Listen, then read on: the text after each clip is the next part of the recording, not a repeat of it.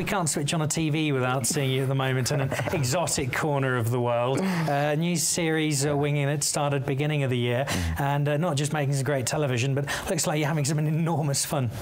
Unfortunately, having to travel with Siv Ngesi, um, very difficult at times. I realized that if there's anyone that has a passion for traveling like I do at Siv Ngesi, and having gone through this incredible adventure with him where we spent I mean, at times we were five weeks on the road, sharing rooms, you're with each other 24 7. You really get to understand a person. He's, he's got a completely different background to me. I mean, I'm a privileged white boy from the suburbs. He grew up in Gugulethu.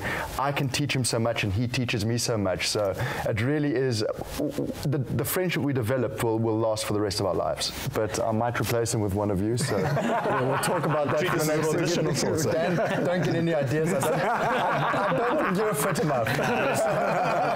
Space for one model on that show.